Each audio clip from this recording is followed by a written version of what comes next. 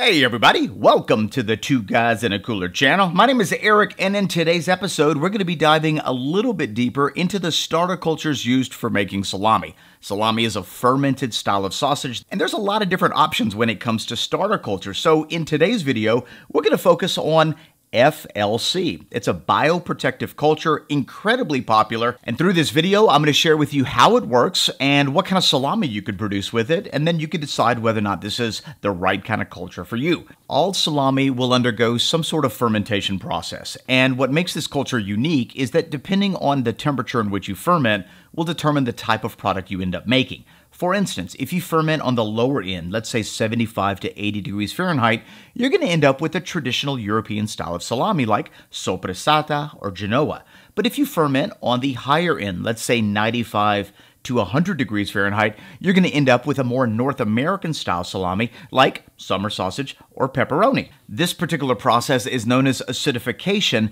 and the general rule of thumb is the higher your temperature is when you ferment, the faster you're going to acidify your salami or the faster you're going to lower the pH of your salami. Notice that there's three types of bacteria in the salami. You have a lactobacillus, a staphylococcus, and a pediococcus strain. The lactobacillus strain and the pediococcus strain are primarily there to lower the pH. As they eat sugar, they produce lactic acid. The staphylococcus strain is primarily there for flavor and color development, as well as nitrate and nitrite reduction. In addition to all of that, Bactoferm FLC is a bioprotective culture, like we mentioned earlier, and that simply means that it's going to safeguard your salami against listeria. Now, moving forward, this culture is incredibly easy to use. For every 10 pounds of meat, you just mix half a teaspoon of this starter culture with a half a cup of water. And I'll demonstrate how to do that here in a minute. Bacteria require food in order to thrive, and the recommended type of food is a monosaccharide sugar like dextrose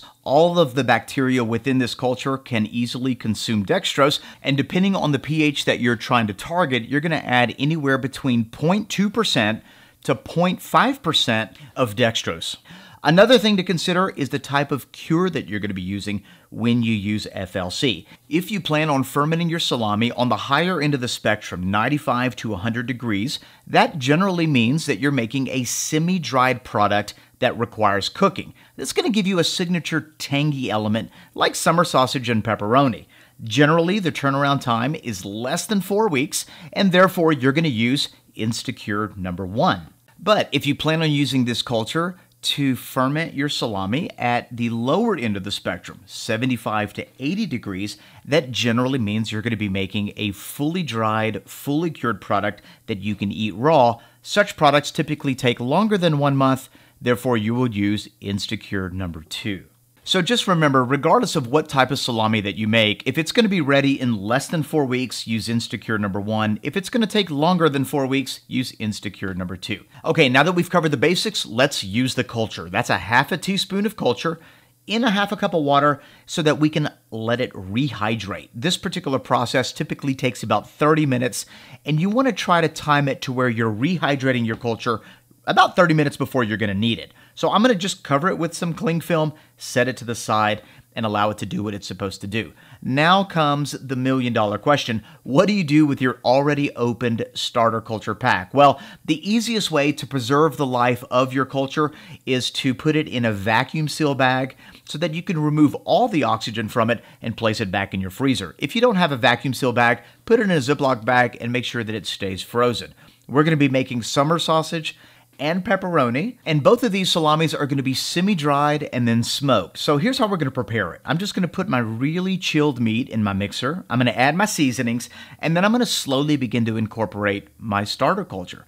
And once I add my starter culture, then the process is going to begin. What you don't want to do is add your starter culture and then place it back in your refrigerator overnight. This can lead to unwanted problems later on down the road. Once your meat has been stuffed in a casing, it's time to ferment your salami, and all we're going to be doing is putting it in a box where you can control the humidity and the temperature. It can be an ice chest, a wooden box, it really doesn't matter. And all I'm doing is I'm controlling the temperature with an incandescent light, and I'm controlling the humidity with a humidifier, and we're going to hang our salami. Salami because I'm trying to achieve a low pH, I'm going to do fast acidification, which takes 24 to 36 hours.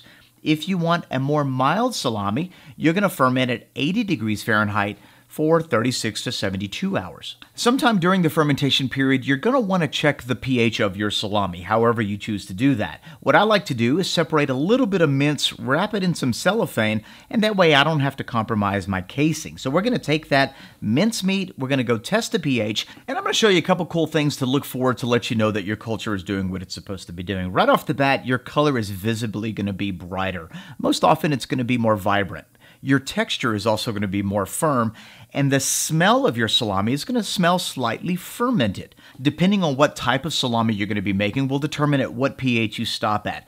Anything under 5.3 is considered the safe zone, but if you want something with a little bit of tang to it, like summer sausage or pepperoni, you're going to go into the 4.8, even 4.7 range. Once you've reached your target pH, it's time to move your salami into the next stage. Now, for me, that was smoking and then drying. So right now, my salamis have been smoked, and now they're going to dry for about two weeks before they're ready to consume because I'm making semi-dried products. But if you're making fully dried products, hang your salami until they've reached a 35 to 40% weight loss, and you're good to go. And that's how you use FLC starter culture for salami. You can get this starter culture from the sausage maker. I'm going to put a link in the description box below. It'll take you to their website. They're going to have a whole lot of information on it as well. But what I love about it is that they provide easy to read, easy to follow instructions on the back of every culture pack. If you have any questions about anything that you saw in this video or need further clarification, leave your comments in the comment section below. If you're new to our channel, we'd like to say welcome. Don't forget to subscribe, like, comment, and share, especially if you got something out of it. We post new videos each week. We'll see you in the next one.